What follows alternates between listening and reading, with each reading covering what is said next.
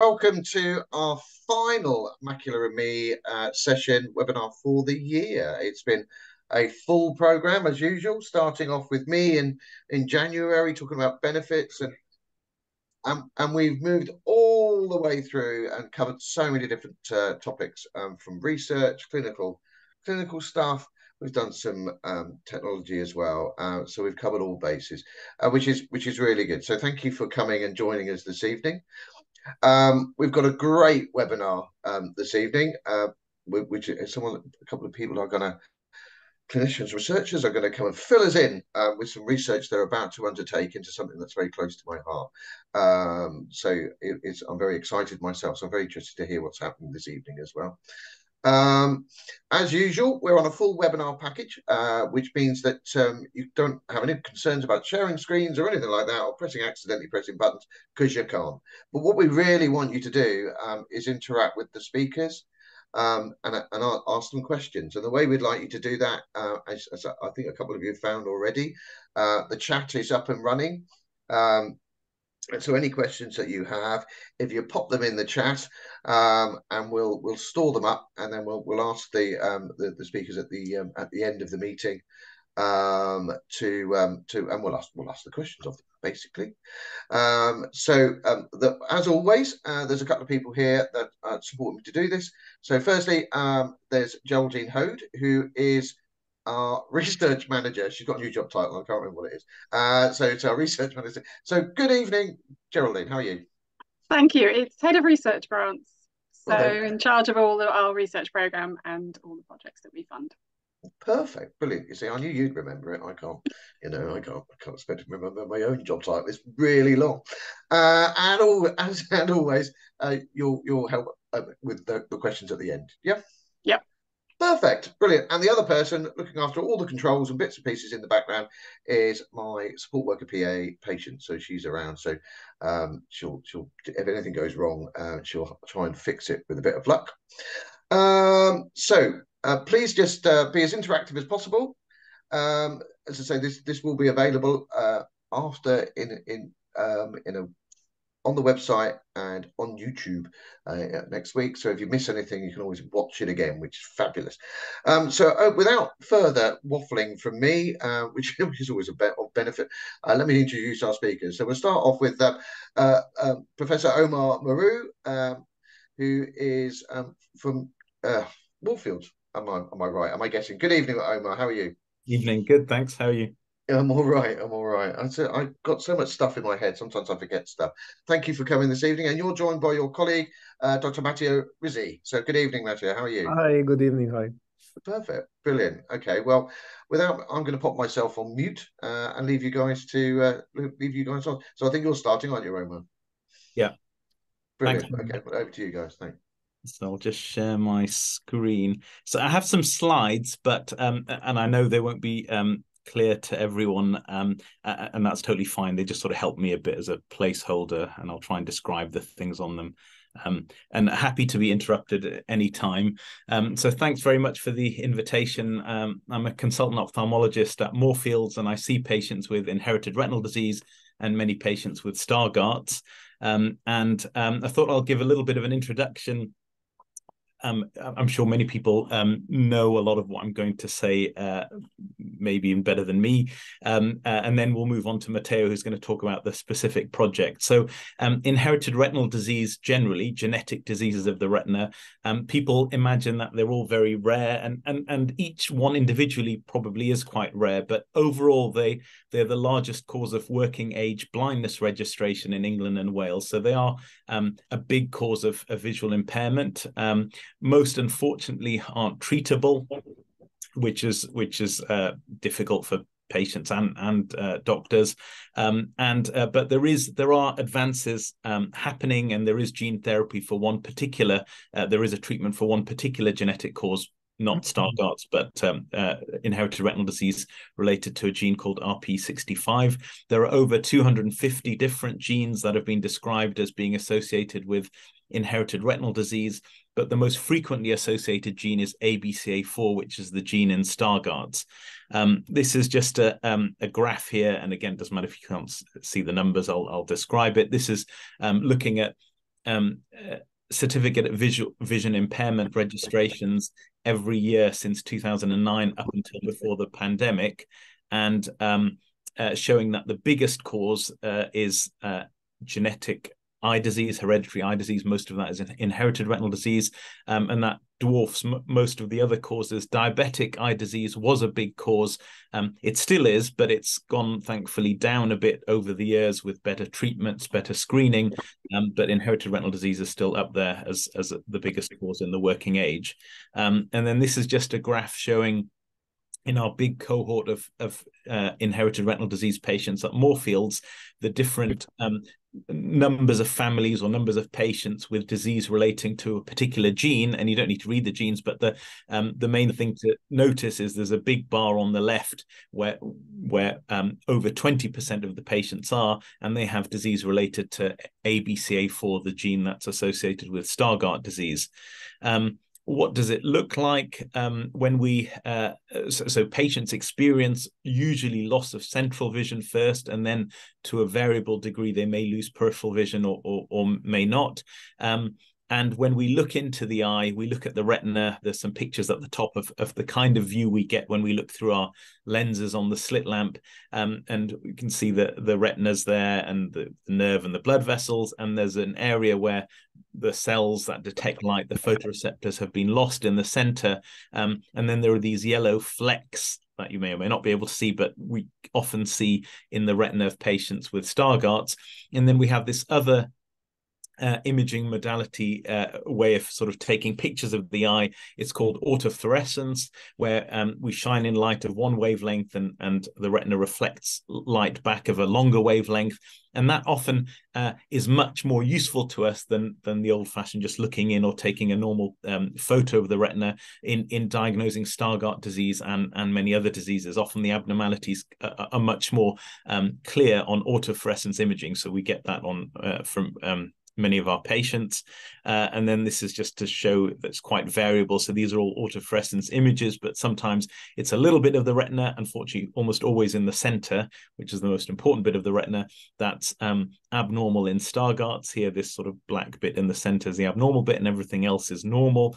Um, or it can be can affect quite a lot of the retina and it can be even more severe and very severe in this patient. And it seems to depend on what the particular changes are in the gene. So one thing we're trying to look at uh, is why um, you know disease associated with the same gene can be so variable, and it seems to be related to what changes you have in in the gene for Stargardt's and ABCA4, and and um, kind of sounds like that should be straightforward, but actually it's very complicated. So we've got the same variant doing very different things in different people. And we've got a previous grant from the Macular Society trying to investigate just that, trying to work out why why different um, genetic changes work in different ways. Another thing that helps us assess patients, and this is all kind of relevant because we're going to try and correlate all of these measurements that we make in our patients to to um, uh, these symptoms of photopsia and photophobia that we're going to talk about later. Um, the other thing way of uh, assessing our patients is with something called the electroretinogram. So many um, of you might have had this test done where electrodes are put around the eye and bright flashes are, are, shone into the eye and you're in the dark for a while and then you're in the light for a while and often people find it very uncomfortable. Um, but that tells us a lot about how the cells in the retina are responding to light. So they can look normal or abnormal on images but they don't that doesn't always tell us are they working well or not? They could look normal but not be working well. And there's we've known for quite a while that the, the results we get on the electroretinogram can sometimes predict how a patient might do in the future. Are they going to likely to lose their peripheral vision or not? Uh, and the way we record the electroretinogram is with uh, an electrode in the eye, which normally is okay with that, even without any anesthetic drops, and an electrode um, outside the eye, and we're basically measuring the the voltage across the eye in response to different flashes of light. This is a, a picture I use in all my slides that was taken of me 20 years ago, and um, when I looked up, very different from now. And had more hair. And um, I always remember in 2019, I was in Vancouver at a conference, and my PhD student came to me and said, "Oh, someone's got your picture on their slide, on their poster." So I went there and I said, oh, "You know, that's me." And the guy sort of looked at it and looked at me and he go, "No, I don't, don't think so." That's what 20 years of aging did. Um, I said, "No, no, it is me." So no, no, I got it off the internet. I said, "Yeah, I put it on the internet. That's where you got it from." Uh, anyway, that that's recording the electroretinogram. Uh, that's another way of recording with gold foil electrodes that aren't so comfortable. Um, and and we get these squiggles, uh, these waveforms that again I'm not going to go through here, but they tell us a bit about what uh, what's happening in the retina and ha- which cells are working and which cells aren't working. And um, uh, and I spend a lot of my time mathematically trying to model these waveforms to to work out, uh, you know, to, to try and improve on what they can tell us uh, about the retina. Uh, and when I t- often say when I tell people I, I work in modeling, they look at me a bit funny and wonder what kind of modeling I do. I say, no, mathematical modeling of electrophysiology. Oh yeah, you look like the kind of guy who'd probably do that.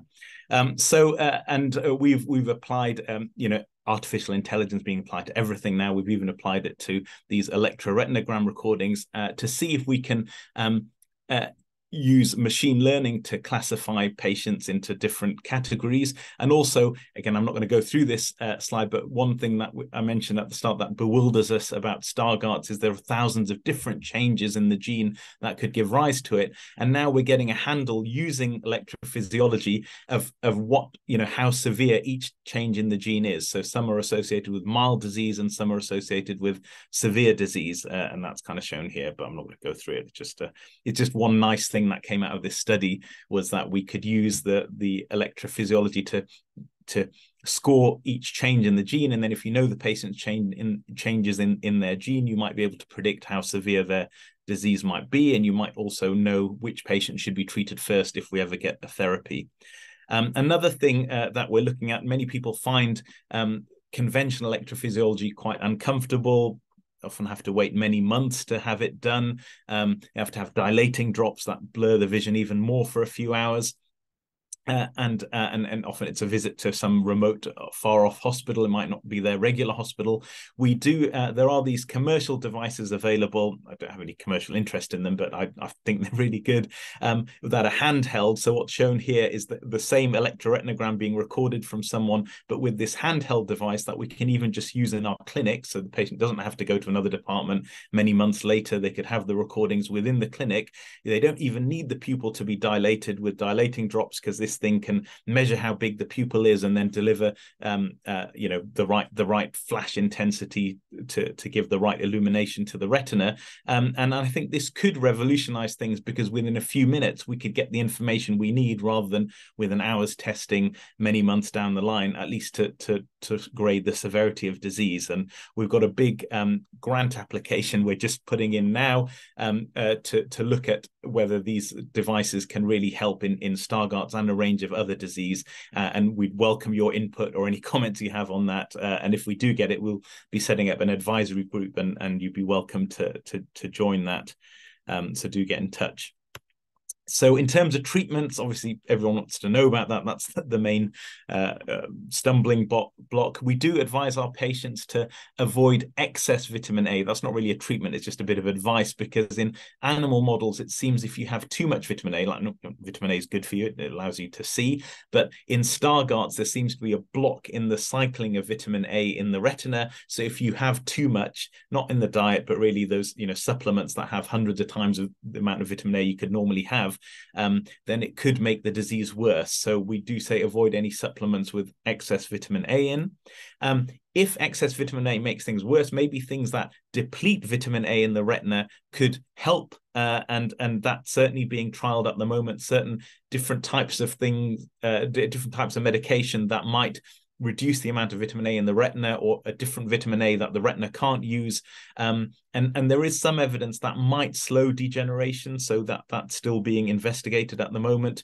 Gene therapy, as I mentioned, um, uh, that we've got that for a particular a different disease, not Stargardt's, but we are able to inject the right copy of the gene into the retina, and it seems to help in that condition. Um, people have been trying for Stargardt's, um, but the gene's very big, and although there have been some trials in France and the US that haven't really reported yet, and doesn't seem that there've been, um, you know, to date very good results. In fact, my colleague Matteo, uh, my very clever colleague Matteo, who you're going to hear from soon, uh, is is on another project working on ways of trying to deliver this big gene into the retina, which which is more challenging than the small gene that's that's being treated at the moment.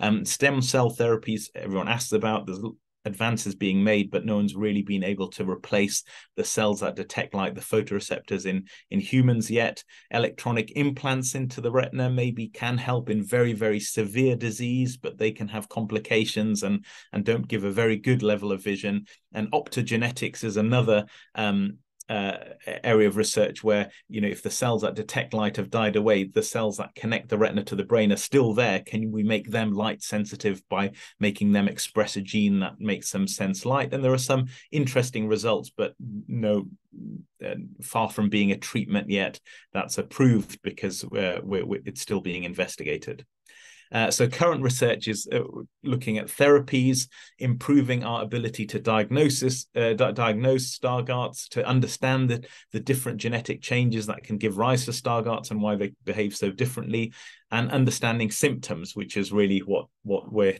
going to talk, about tonight, or Matteo's going to talk about the symptoms of photopsia and photophobia. So photopsia, um, these are medical terms, but photopsia is flashing light, seeing flashes of light when they're not really there's not really anything flashing in the environment. It's within your eye or your brain is perceiving flashes of light. And photophobia is a term meaning uh, kind of aversion to light so bright lights or even kind of normal intensity lights can make some people feel some pain in their eye or doesn't always cause cause pain but it just the, the vision isn't very good. There's some kind of discomfort and people prefer the lights to be dim. Um, so this is something we see in, in a number of inherited retinal diseases. Um, we see it in, in uh, sometimes in retinitis pigmentosa. We see it in diseases that affect the cone photoreceptors, um, uh, the, the cells that give us good vision in bright light. Sometimes those conditions give you photophobia. And we also see it in Stargardts. And I have to say that I had thought about it in the other conditions, but didn't think it was very common in Stargardts until Matteo came and told me about it. And, uh, and then I started talking to my patients and asking them about it. And they say, yes, actually, it is quite debilitating. But I don't know why many patients don't always volunteer it. Maybe they've seen lots of doctors before me who've dismissed it and therefore they don't talk about it, or they've just learned to, you know, there's nothing you can do anyway, so I won't mention it. But um, I, I, started asking patients specifically about it and I've realized it's, you know, more common than, than I'd thought before. So it does seem to impact in some patients at least quite a lot on their quality of life. Obviously stargardt's um, you know having poor central vision has a big impact on your quality of life and especially if the peripheral vision goes as well. But sometimes it's these symptoms that aren't necessarily just about visual loss, but are about flashing lights and aversion to bright lights that that can have a big impact on people's quality of life. Seems to affect some people more than others. We haven't seen a pattern yet, especially like particular genetic changes cause it and others don't. We haven't really seen that yet, but it's something we want to look at. Um, it's difficult to measure we those scans I, sh- I showed you and the electroretinogram you know we can measure uh, amplitudes and widths of cell layers and things like that and and and and quantify things quantify degeneration. But things like photopsia flashing lights and photophobia aren't so easy to measure. And when something's not easy to measure it's very easy for doctors to just ignore it because you just kind of put well, I can't measure it. So put it in a box. Maybe that's what's happening or maybe patients are, are frustrated so they don't often don't mention it because you know when they mentioned it a long time ago it didn't seem to to get anywhere. I'm, I'm not sure but um that may be you know the first way of I think dealing with something or understanding something is trying to measure it so that you can you know give it some sort of severity and then work out what might help it and what might make it worse. Quite difficult to manage uh, these symptoms. It's not like we can give a tablet and they go away. Um, there are other kinds of um, uh, analogous neurological um, things that happen in the brain that some tablets can help with. But these things that are happening in the retina aren't so easy to treat with tablets.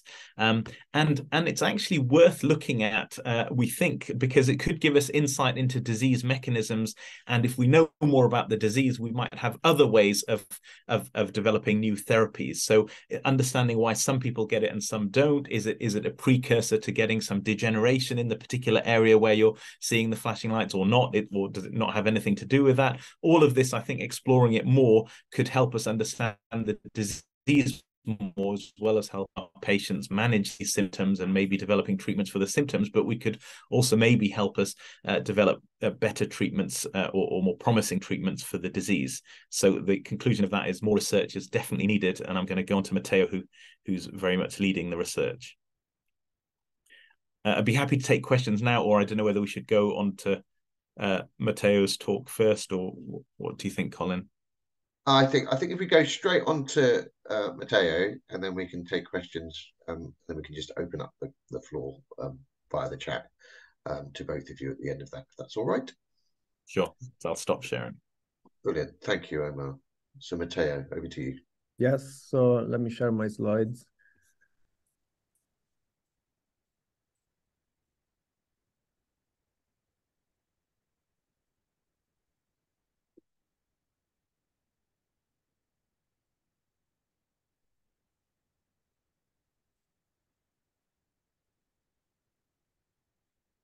Okay, so good evening, everyone. My name is Matteo Rizzi, and I started a lab at the Institute of Ophthalmology at UCL, and also we do some of the work at Moorfields Eye Hospital, where we collaborate a lot with uh, Professor Omar Mahroo and other clinicians.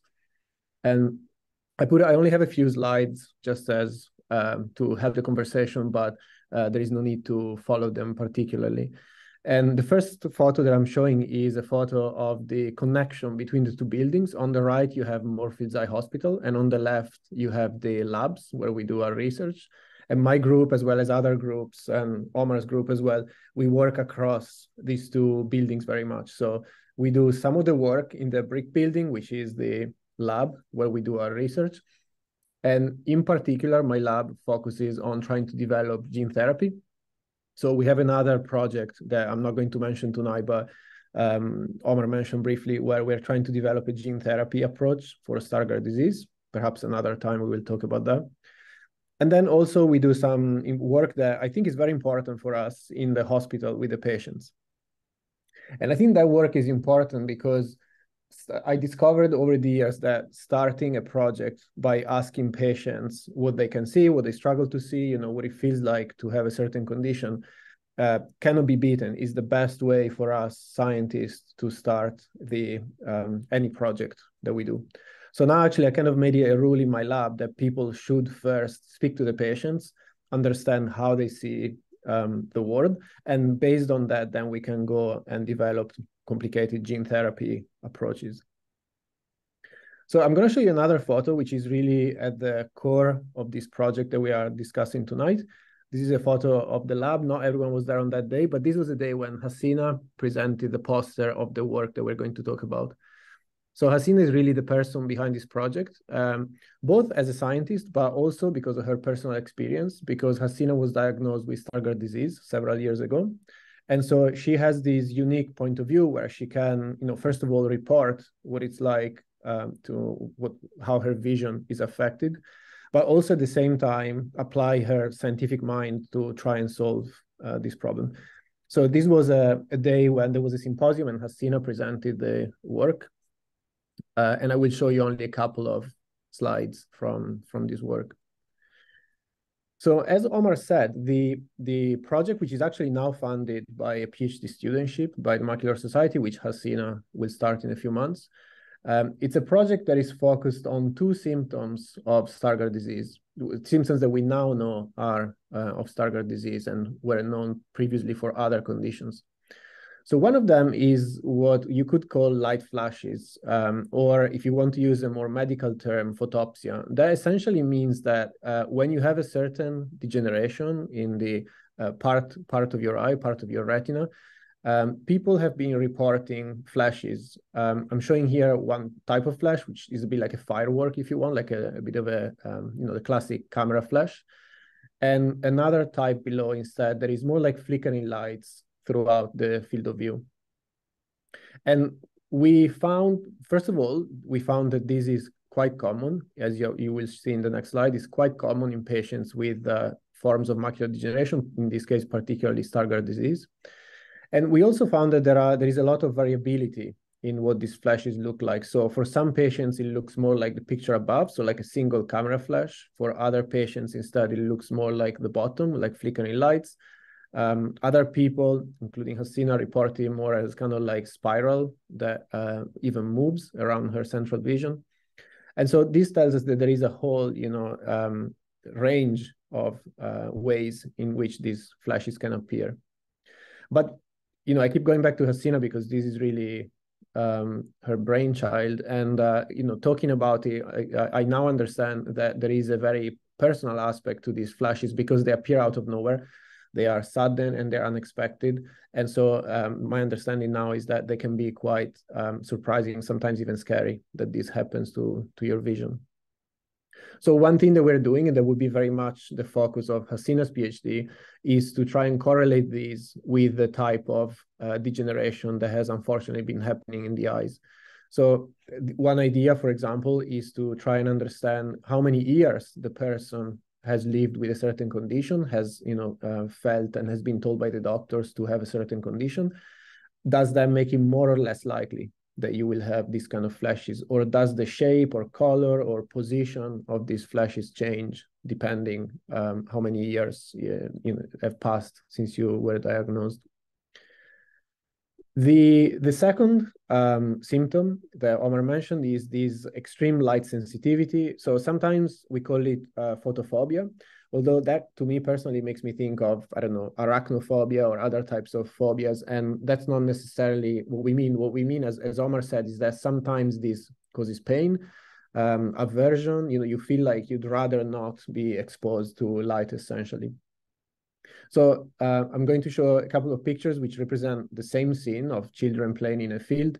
Uh, but in the top picture is just downloaded from the internet as it is. And we try and mimic with the help of some patients what uh, they feel like this extreme light sensitivity looks like. And so essentially it's as if everything is very saturated. It's as if everything is very bright and very white. And you first of all, you lose the ability to see details in the scene, of course, but also it, none of us likes being flooded with uh, with light and having a uh, overwhelmingly white picture in front of us. Uh, and this that that's why the name phobia, right? The name, uh, the word aversion, for example, comes in. So with the uh, discussing with Hasina, we sort of have a very interesting convergence, which I think is, is you know the, the best moments in, in scientific research is when the hypotheses we have in uh, among scientists in the lab match actually the experience that patients report. And so we thought we just thought hypothetically this might be the case, but Hasina was able to tell us that this was truly the case and that these two symptoms, the light flashes and the light aversion, were um, something she experienced. So we decided to, you know, wearing the scientific hat, we decided to investigate these further. And so Hasina designed a questionnaire, which uh, at the time was deployed both through um, Omar and uh, Moorfields Eye Hospital uh, to patients registered there, but also in an um, anonymous form through Stargardt Connected, another charity. And we will now expand this questionnaire, but at the at the time we had this kind of pilot study to try and understand how prevalent this was. You know, maybe uh, you know it was this was not going to be a prevalent issue. But it turns out actually that is very prevalent. So they're both very prevalent. So in terms of the light flashes or photopsia, as we called it, we found that nearly 90% of the uh, people that we surveyed with Stargardt disease had experienced uh, this. And in the case of the excessive light sensitivity or photophobia or photoaversion, however you want to call it, still the majority, about 60% of them reported having these, uh, these kind of problems. So first of all, this told us that um, this was a very prevalent uh, thing, uh, two very prevalent uh, phenomena, two very prevalent symptoms within patients with Stargardt disease. And um, also, it was very interesting to dwell a bit more on what the um, feeling was of these flashes. I told you briefly that the shape of the flashes change. Hasina found also that the color of these flashes change. And we have started now looking more in detail at uh, trying to correlate uh, these things, trying to understand better the mechanisms behind it. In terms of the uh, light sensitivity, also we're trying to uh, understand that. And particularly we're trying to understand how much this impairs vision. Because of course you could you know uh, some people wear sunglasses to try and reduce this a bit. But um, in the end this makes vision worse. And we're trying to think of ways where maybe we could actually help and and make it make it normal or make it better than than it is um, the last thing I want to show you from the survey is that uh, uh, we decided with Hasina to leave the, the, at the end of the survey, we allowed people to just have like a box where they could spontaneously write what they wanted if they wanted. And uh, uh, there were some very interesting comments, which were, to be honest, quite motivating for us in continuing and doing more of this research. Um, I'm going to read uh, the comments for you. So one patient said, I'm delighted to hear that this may be looked into as it is one of the biggest impacts on my vision. And when I mentioned it at appointments, they seem to say it's not related to my Stargardts, but I feel it is. And another patient expressed a similar feeling by say, bluntly stating, I've asked why this happens and no one knows. So we don't know yet. Uh, none of us knows yet exactly uh, this. That's the point of, of research, right? We try and do it to understand things that we don't know. But I'm quite confident that um, Hasina has a very good chance over her PhD to try and answer these uh, these questions. I put my email address just to conclude in uh, this slide again, because we're always very happy eh, to to engage with people, to speak with them, and like I said, to understand how it feels like um, to have a certain eye condition. Um, but also because we're very happy if someone wants to contribute to this research Hasina is doing, uh, to the questionnaire, perhaps even we can explore options to you know include uh, further tests we'd be very happy to hear from you. So if you uh, want to email either Omar or myself, uh, we'd definitely be happy to to discuss and maybe show you around around the lab. And this is it. This was my last slide. So I guess if Colin agrees, probably we can move on to the we, question time. Absolutely, we can. Brilliant. It's uh, say fantastic. I mean, that was very interesting from both of you. So thanks very much. Um, I just, just to, I don't want to, you know, still, I mean, I, as you may or may not know, I've lived with Stargardts um, for uh, since I was eight, and I'm 51 now, and I've experienced life light flashes, um, swirling lights, primary of primary colors, which I can't see, which is really bizarre, and highly light aversion, uh, very sensitive to light where it, it can be debilitating. So um, I know there's lots and lots of questions in the in the um, in the in the chat. So I'll, I'll hand over to um, to Geraldine to go through some of those. But, but I, I mean, as I say, this is very close to my heart because this is the bit of my my central vision has gone. Um, and and this is the bit that affects me the most these days, actually, because I can get around mm. everything else this is the bit that gives me the most difficulty. So mm-hmm. uh, I shall hand over to Geraldine to ask you some of those great questions that were coming through. Brilliant.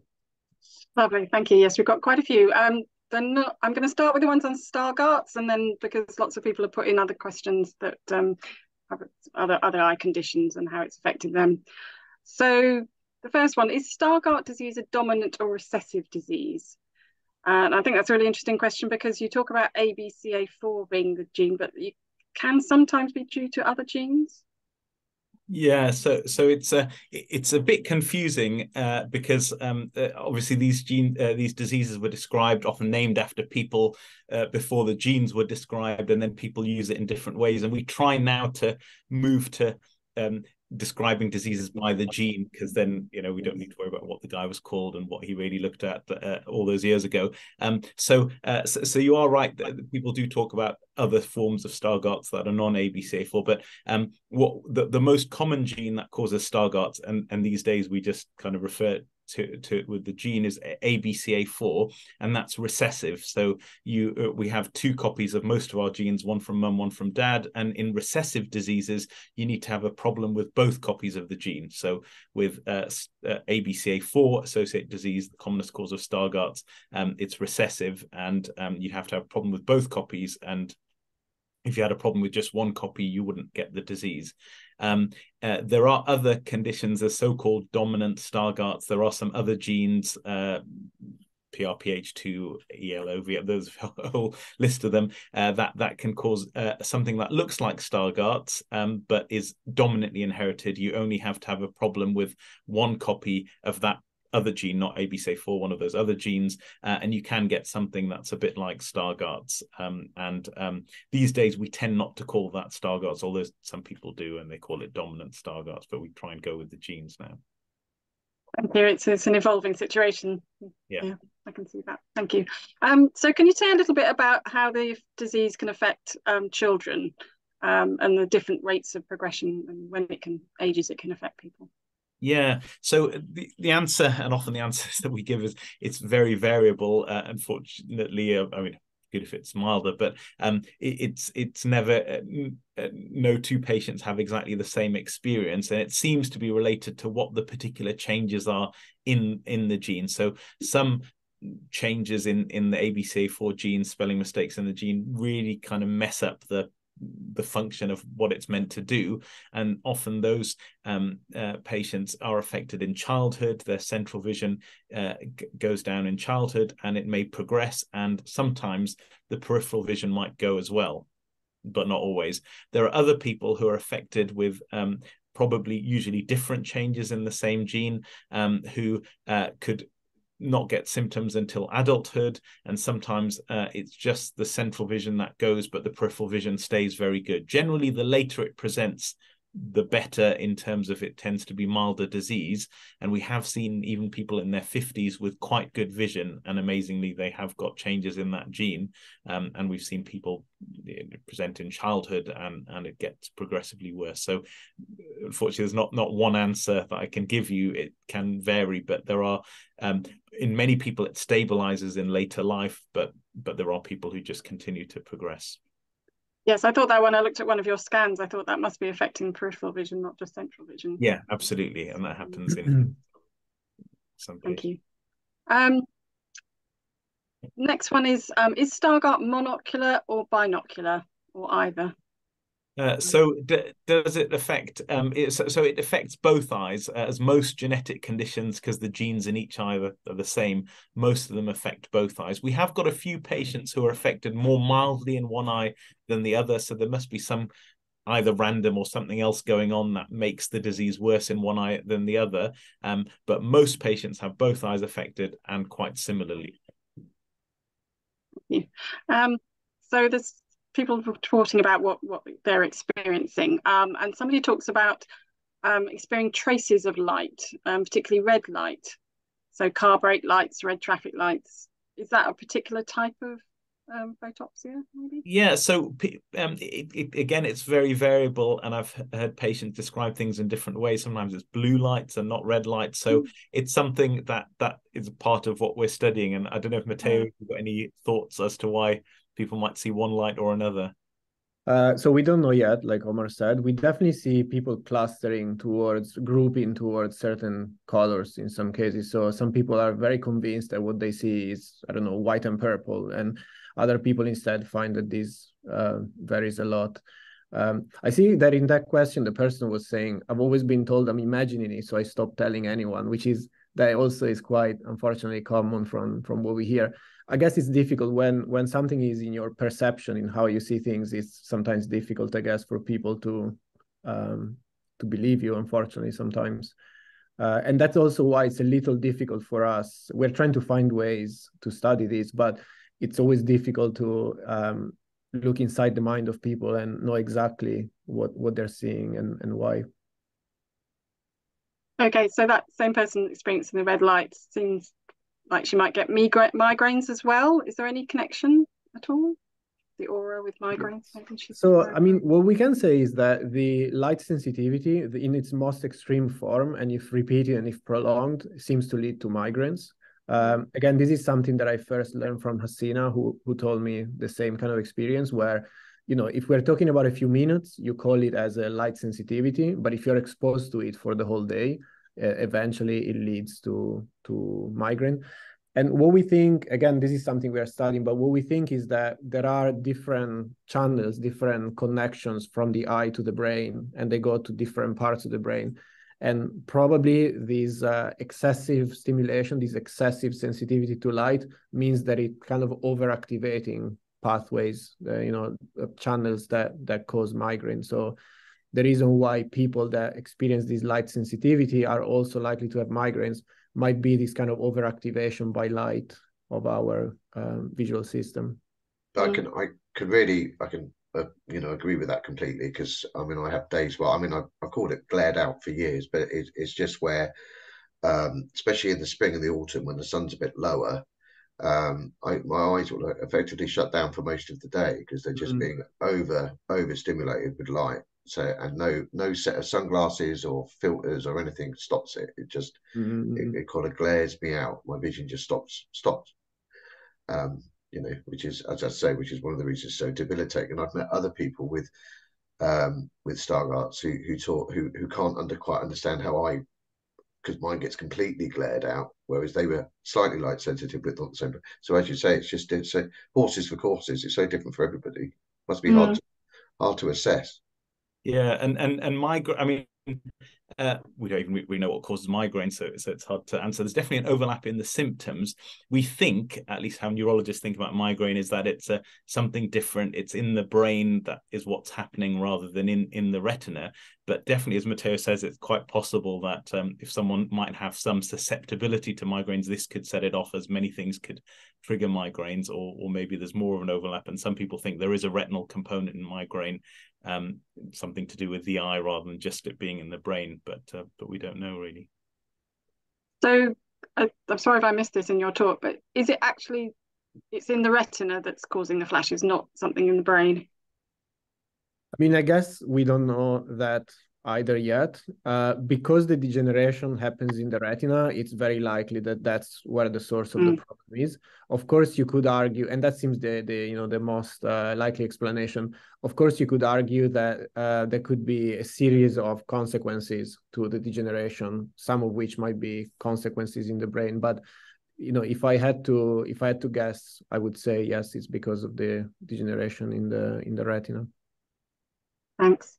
Um, there's quite a few people asking about sunglasses um, and sort of looking for advice to how to cope with the glare. Got anything? Uh, yeah, I mean, one thing I, I, I read, uh, think it's flashed away now, but uh, somewhere in the chat, people wondering about um, sunglasses making the eyesight worse. It, it um, sunglasses don't harm the eyesight, um, but but I think I think anyway, Matteo, you can clarify yourself. What you said. I think what you meant was that when they put the sunglasses on, they they can't see so well, so it doesn't really take away the problem. But uh, we're not saying sunglasses harm the eyes, so don't worry about wearing sunglasses. Okay, so is it a question of trying different things? I don't know what your experience is, Colin. I, just choose the darkest sunglasses you can find. Or? Well, I think it, it's again, it's about finding the, the glasses that suit you the best because the different filters um, will affect your eyes in different ways.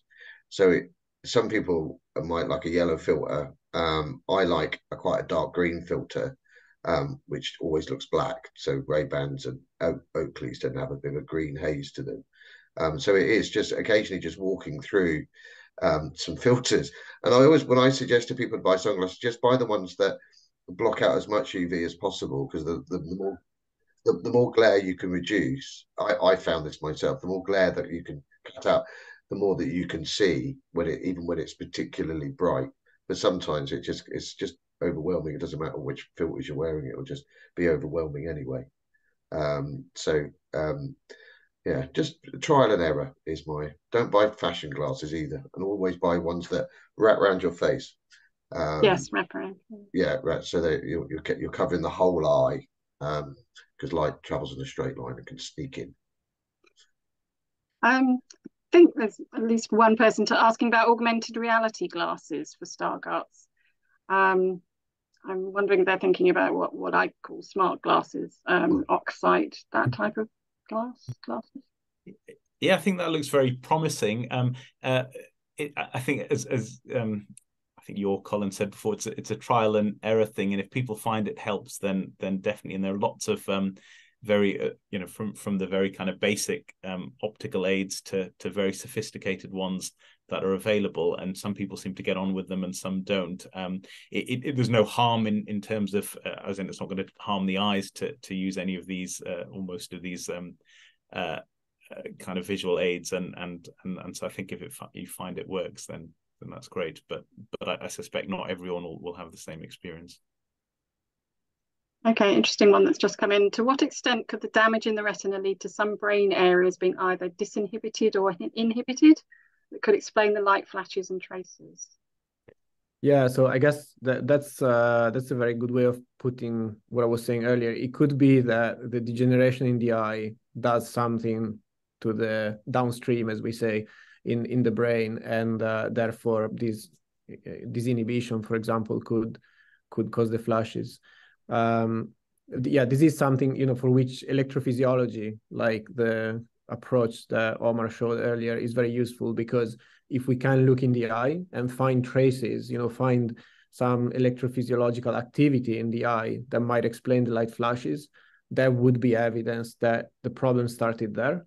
Whereas if there is no evidence from the eye, I guess we have to assume that it's something happening further down the line in the in the visual system in the brain.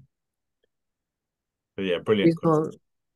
Yeah, that's what I was going to say. But there is no doubt that the problem is associated with the degeneration. So obviously, the the issue to study and the thing to try and prevent or slow down is the degeneration because clearly that's the kickstarts everything. Thanks.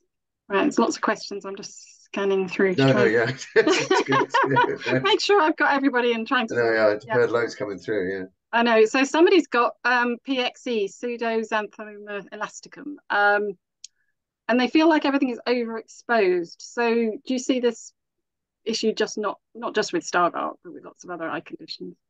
Yeah, yeah, I think we do. We get do see um, uh, strange symptoms and and uh, flashes or or like overexposure. People have maybe not used those words, but things look brighter than they should be, and with, with a number of other retinal conditions. Um, and uh, and and again, just like with Stargardt's, we're not really clear as to to what would be causing that with with pseudoxanthoma elasticum one of the layers underneath the retina is quite thickened and that reduces probably the transfer of vitamin A to the retina, and that can make people uh, have poorer vision in the dark. In some people, uh, there are other things that go on as well. And again, we don't understand all of the visual symptoms. Generally, we say to anyone if they've seen, I mean, I don't know about overexposure, but any change in the vision of either eye, it's worth being seen. It's hard to comment without looking at the retina because sometimes in pseudoxanthoma, new blood vessels can grow uh, underneath the retina that that can cause vision loss and and and can need treatment. Um, but um, but normally that causes a, a, loss of vision or a blurring of vision or a distortion rather than a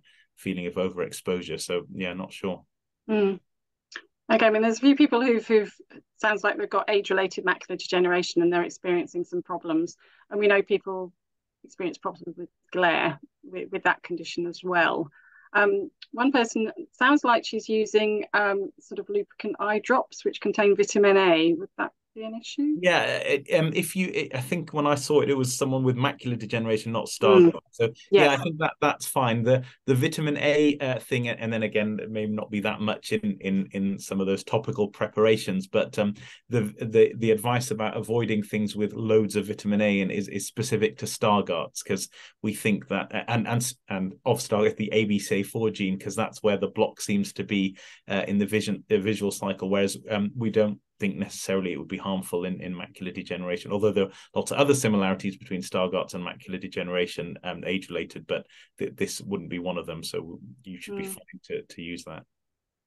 Yeah, I mean, there's treatments in clinical trials which are aimed at both Stargardt and dry AMD, aren't there? Um, so there's similarities, although I've heard some people say that that's not really true. I don't know. uh, it depends. Uh, I mean, uh, it's uh, depends how you define it. There are definitely similarities. The same bits of the retina degenerate. There are there are lots of similarities, but there are lots of big differences as well. So I guess it depends which way you want to look at it. It used to be thought that ABCA4 could be a genetic cause of age-related macular degeneration as well, and there was a big study that seemed to show that, and then that was kind of overturned later. And we don't think the gene ABCA4 is really involved even in contributing to normal age-related macular degeneration. There are some other genes that might contribute, but not probably ABCA4. I'm struggling. There's somebody asked about um, some research by Alkeus Pharmaceutical. Um, and I know I've heard of that, but I can't remember which treatment they might be trialing for Stargardt off the top of my head. Uh, not sure. I can't no. remember. There's a lot of trials going on, and it's difficult yeah. to keep track of them all. I try, but there's too many. There's too many. No, really. I mean, it's, it's great. I'm not complaining. no, no, no, no. It's good. I just, just my brain isn't big enough. Yeah. Um, I know how you feel. It's all right. so another one that's just come in. I always have a retinal scan when I have an eye test. So how different is an eye health scan? Um, my eye optician suggested my eye, the eye health scan when I mentioned the photophobia symptoms. They said eye drops would be used to dilate the pupils. So what sort of scan do you think that's been? Yeah, so um, people have funny names for things. I'm not really sure what an eye health scan is. I guess any scan you have, we're looking at the the health of the eye. So I'm not sure. Uh, as you say, having a retinal scan, I think is is is a good idea. If um, I, I don't know if it depends whether you have Stargardt's or or age-related macular degeneration. I don't think everyone necessarily needs an OCT scan if they haven't got any problems with their vision, but if they do, then then I think it it it, it can be helpful. Um, but I don't know what the eye health scan is, whether it's just a combination of tests they do in that opticians and um, um, I, I, suppose if you have some symptoms, uh, then then getting in investigated is a good idea. Um, it, if if you didn't have anything and your vision was fine, then I don't think you necessarily need to have more than the usual pressure check and mm. the glasses check. Yeah, I've, I heard it quoted the other day that 93% of opticians have OCT scans now. Um, oh. So, but you generally have to pay extra extra for them. They're not part of the NHS eye test, unfortunately. Yeah. Oh, this this person said I don't have macular degeneration, but my 97 year old mother has. I had a retinal scan two months ago. Yeah. So, yeah. so again, I think if you if you don't have any problems, um, uh, then uh, uh, then then not necessarily that you, you don't necessarily need one. Um, but uh, uh, macular degeneration, there is a, a, a, genetic component. So if your mother has, then you are a bit more likely than the average person. Um, but that's just you know a bit more likely. It doesn't mean you'll definitely get it. Mm. I'm going to hazard a guess that they're referring to an OCT scan. Yeah, I might be wrong. Ask them what they call it. Yes. What, what is the eye health scan and what you what are you getting? Yeah, might make life help a little bit more understandable. Um, right. I think I've covered everything. How are Perfect. time? Oh, brilliant! I, I, I, was gonna, I was, I was gonna say we were getting close to the end, so uh, got a few minutes left. Uh, I, I just, um, I mean, I'm, I'm very interested personally, actually, maybe to take part in this, which is very, a thing I've never heard myself say, which is quite weird. So, um, because the, the, to understand a little bit more about these these light floaters and light sensitivity, I think is is a really good a really good thing to do. Uh, somebody who's lived with Stargardt's as long as I have, um, and, and, sadly mine has crept out of my central vision. It's moving across the eye slowly. Um, so um, you know it is what it is. But it, oh, we've had another. What about, got it. I heard that. What about genetics and myopic macular degeneration? Sorry, I missed that one. It, I think it was came in almost as soon as the, the webinar started. yeah. So um, uh, with um, uh, uh, one thing I probably should say as well that the the common uh, not the commonest cause but a cause of new onset light flashes can be a uh, the jelly in the eye pulling on the retina which can cause a tear so I, I should probably say just generally for anyone listening if you have mm. new flashes that just come that you haven't had before, then it is worth getting seen. Um, because we're, what we're talking about here is the flashes relating to Stargardt's or, or retinal degenerations rather than the ones that could relate to a, tear in the retina.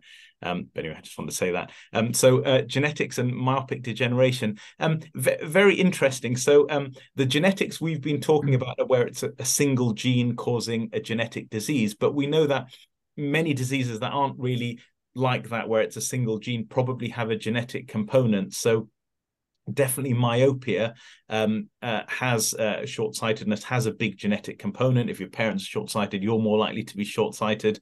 Um, but it's lots of different genes uh, with each of which kind of have a small effect that seem to then make you more susceptible to myopia. And if you're more likely to be myopic then you are more likely to have um, myopic degeneration. You still probably won't get it but but there are some people especially if they're highly myopic that they can have a degeneration in the center of the retina um, that looks a bit like age-related macular degeneration, but is a bit different. Um, and um, we don't know what the genetic. Um, uh, uh, we know genetic associations of myopia, and people are looking at are there any particular genetic associations that make you more likely to get myopic degeneration? But that's still uh, it's probably little effects of lots of different genes rather than a single gene. But it, it's a really interesting thing to look at. I, I I'm I know there's a few more questions that have come in. I mean, I've been, I'm just aware that we're sort of coming to to the end of our time. Um, I might uh, collate those questions and uh, send them over to you if that's all right. Sure. Um, um, You can put them on the website or whatever, and uh, so people can have their questions answered. Somebody's um, asked for the link to our YouTube channel. I don't know whether the Patience can. Oh, Patience, can you pop that in, please? Yeah. Yep, I'll do that now. Yeah, brilliant. Thank Thanks. Um, so. Um, um, guys, really thank you, Omar and, and, Matteo. Thank you ever so much. Now, Matteo, I, I feel I'm going to have to invite you back um, to talk about your uh, gene therapy and this bigger oh, gene. Oh, yeah. It's a biz, biz, business in the in the new year because I get the feeling if I don't, I might get hunted down. So, um, so it would be great if you could come back and and and Omar, it'd be great if you came back at some point as well. Um, and just to just to go through that. So it just leaves us with time to say, um, someone has asked for the the all our all our webinars are available on the Macular Society YouTube channel. And if you subscribe, um, anytime a new video goes up from either of the webinar streams, you'll get a little ping on your um, on your on or a notification telling you it's there. Um, but uh, this is the last one of the year, so uh, it's it's great. It's been a really really uh, enthusiastic and, um, and really interesting uh, event. So Omar and Matteo, thank you ever so much for for spending the evening, taking some time out of your evening with us this evening. It's been great. Yeah, no worries. Thank you. It was great to answer so so many good questions. Brilliant. Okay. Pleasure. Excellent. Thanks ever so much. Uh, and Geraldine, thank you for being uh, being supporting me all year as well, uh, answering all the questions. It's been really helpful. Welcome. Thanks very I much. I just looked up Alkeus. It's, it's in a vitamin A dimer treatment. Yeah, I just googled it as well. So the vitamin A treatment I was talking about, the actually, I didn't know about that is uh, it, it's like an alternative vitamin A uh, to stop, you know, as we said, too much of normal vitamin A could cause a degeneration. So there are companies looking at that, and and and the results look promising, but but we're still waiting for for you know more more results. More results, but it's just so good. There's so much going on. It's so it's really really cool. Um, you know, when I was I remember being diagnosed and told um, that in, within my lifetime there would be a at least a treatment, and it does look like we're heading in that direction, which is great. So, um, well, fine, fantastic. So, thanks, guys. Thanks for coming along. Patience, thanks for your help as ever. Um, really, thank you guys for uh, for, for supporting these webinars um, this year. Um, and uh, we will be back with a fresh set of webinars uh, in the new year. And, and just for those who, who like a podcast, we're now starting to convert all our webinars into podcasts so you can listen to them at your leisure wherever you like. Where and it's available wherever you get your podcast from. So that's the way to say that as i understand it. So it just leaves me to say uh, thanks very much and have a good rest of the evening. Thanks very much and bye bye